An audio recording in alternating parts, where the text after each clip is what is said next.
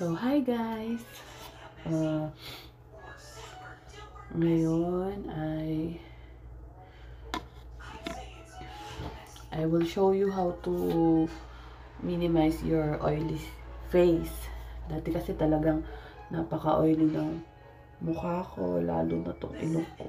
Tapos madaming mga dark spot ng mga pimples, ganyan. So, ngayon, magwawash muna tayo ng uh, blackhead clearing scrub ng St. Ives. Ito lang yung ginagamit ko. Mas mura kasi ito.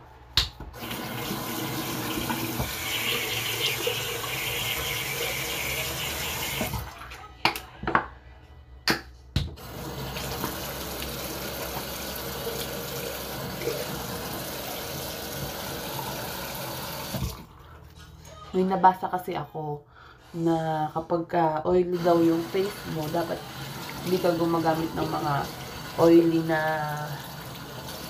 pinapahid sa mukha kasi mas lalong mag-oily yung face mo.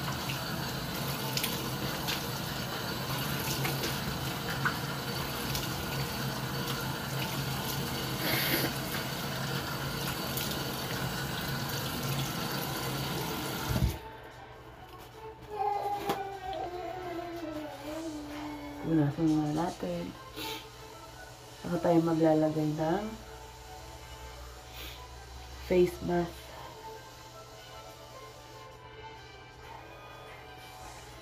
Ito lang din yung ginagamit ko kasi mas mura nga ito. Effective naman.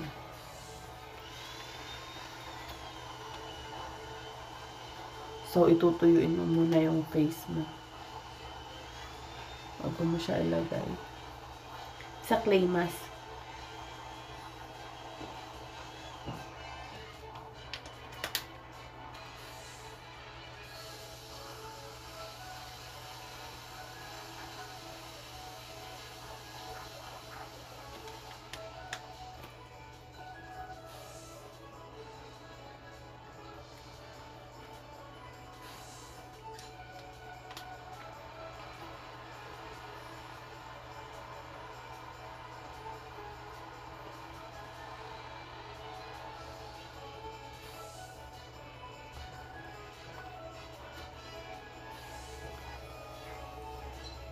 So, ayan, mag-wait lang tayo ng 10 to 15 minutes hanggang sa matuyo siya. Daily siya gagawin. Um, hanggat maaari, 2 times a day para mas mabilis.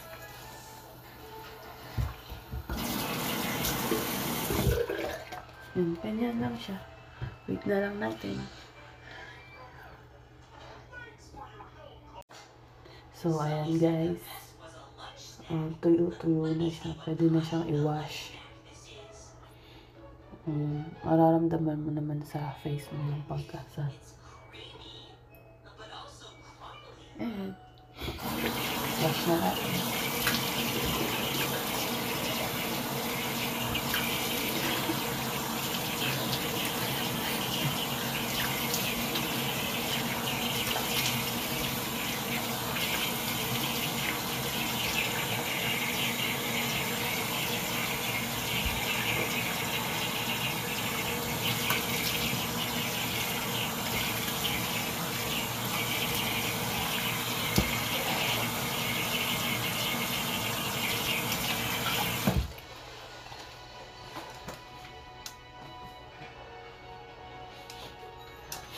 Ayan, tinuyo ko na.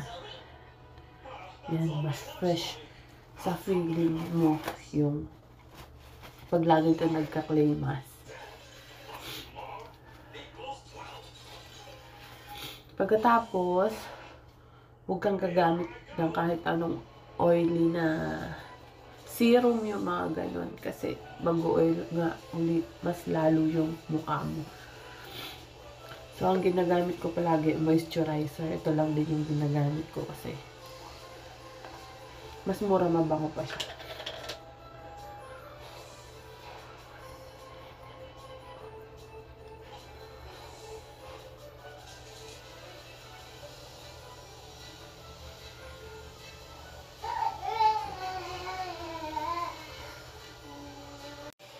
So, ayan guys. Thank you. This is my first vlog.